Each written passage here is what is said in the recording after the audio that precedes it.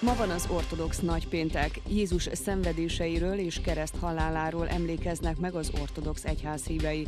A Julianus naptár szerinti nagypénteken az ortodox templomokban nem mondanak misét. 23 évvel ezelőtt bombázta le a NATO a szerbiai RTV épületét. A történelem során egyébként ez volt az első olyan médiaház, amelyet legitim célponttá nyilvánítottak, azt követően pedig le is bombáztak. A nagy érdeklődésre való tekintettel májusban is marad az akciós menetjegy a Szoko, vagyis a Súlyom nevű szerelvényen Belgrád és Újvidék között.